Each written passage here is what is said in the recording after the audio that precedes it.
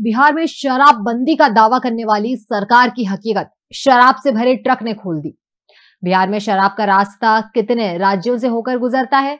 Police की कार्रवाई ने सब दूध का दूध और पानी का पानी कर दिया है। बिहार शराब लेकर जा रहे दो तस्करों को भी पुलिस ने गिरफ़्तार किया है। शराब तस्करी के मामले पर कार्रवाई करते हुए सिंगरौली पुलिस ने अवैध शराब से लदे एक ट्रक को पकड़ा है।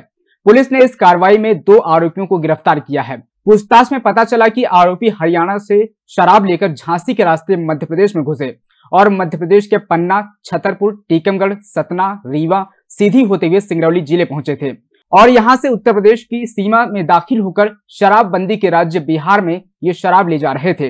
लेकिन शराब तस्कर अपने मंसूबों में कामयाब होते कि इससे पहले ही पुलिस अधीक्षक यूसुफ कुरैशी के नेतृत्व में शराब तस्करों की घेराबंदी करके ट्रक को पुलिस ने पकड़ लिया।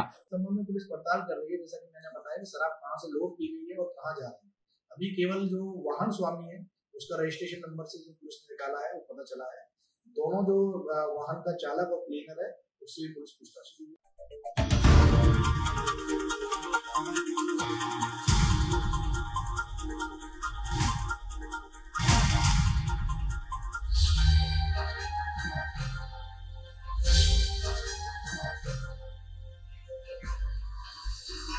आप देख रहे हैं दखल न्यूज़।